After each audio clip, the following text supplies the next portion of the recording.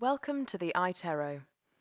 The purpose of this training module is to review the basic features of the OrthoCAD software for displaying, presenting, and diagnosing 3D orthodontic models. To start OrthoCAD, click on the software icon on your desktop. Now, click on the File Open icon to select and open a model from the list. The view control functions are used to move the model in the virtual environment.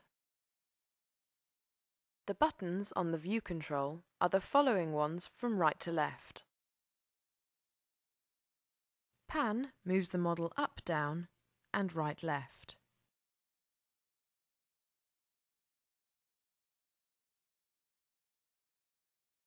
Rotate allows rotation movement of the model.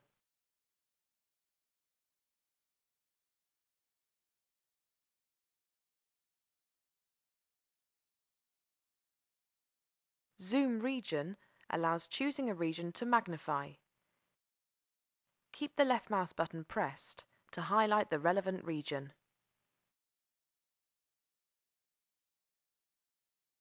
Zoom out and zoom in will increase and decrease the magnification of the model on the screen.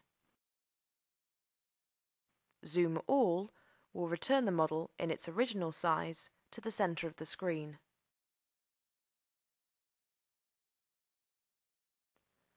The View Control dialog also displays a model picture surrounded by two circles.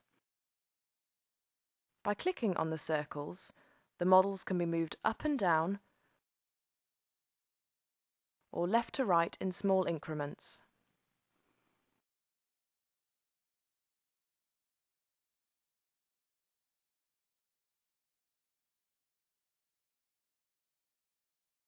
The preset markers on the view control allow for quick movement to the desired point. For example, right lateral view, left lateral view, or central view. To toggle between the upper and lower arches, click once on the model icon.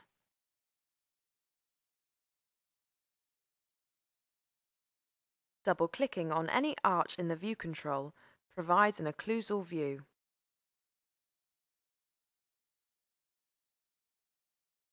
OrthoCAD offers some preset screens that make it easier to simultaneously view the model from different perspectives. They include the frontal,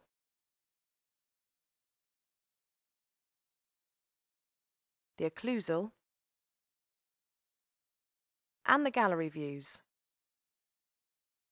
The models in each window can be controlled separately for better evaluation. Occlusal contacts can be shown at any time using the occlusogram view. The diagnostic tool allows for advanced measurements of each tooth or arch. Open the diagnostic tool and choose teeth width. Choose the tooth you want to measure and click once on the mesial edge and once on the distal edge. You can modify the measurement position if required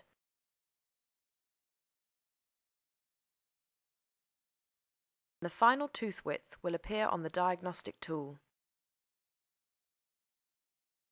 The diagnostic tools in OrthoCAD will be covered in greater detail in a separate module.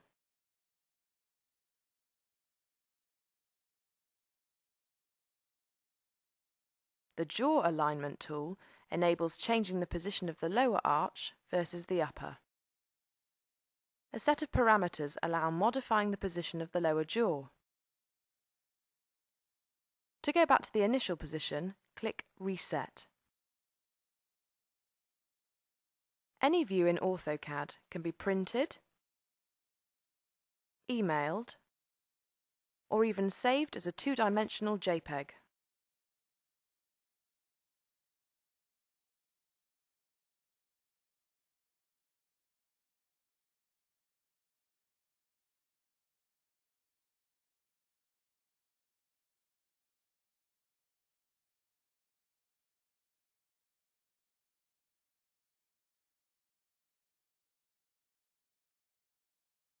Consult the detailed and context-sensitive help menu at any point by clicking on the Help icon or F1 on your keyboard.